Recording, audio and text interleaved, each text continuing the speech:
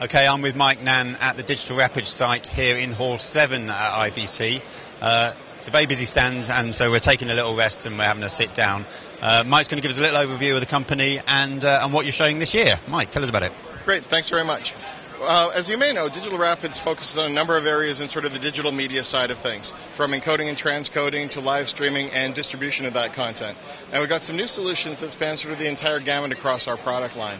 On the encoding side, we've got new versions of our StreamZ HD encoders, which are for taking baseband signals and converting them to different formats with an objective of multi-screen distribution, going to tablets, phones, all the different platforms, even from game consoles and connected televisions.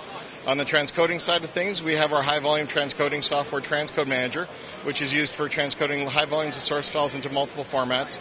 And here at the show, we've launched a brand new version of it, version 2.0.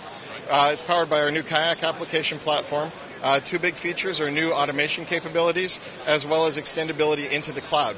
The cloud is one of the biggest topics with service providers and uh, broadcasters who are looking to save some money in some cases or move it into uh, operating expenses into capital expenditures.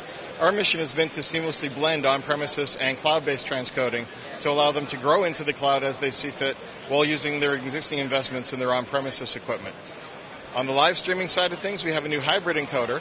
What I mean by hybrid is we're taking everything we've been strong at and multi-screen and adding to that traditional television applications, broadcast, cable, satellite, and so forth.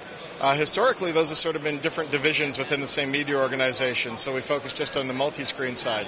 Within those businesses, they're starting to converge, bring those operations together. So we have a new box that in one RU can do both the traditional television for, for on air, shall we say, as well as the multi-screen, all from a single input source.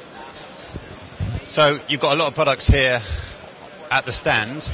Um, and obviously people want to come and see it, they can see you in Hall 7. Uh, if they're watching this and IBC is over, you have a website that people can go to to find out some more info?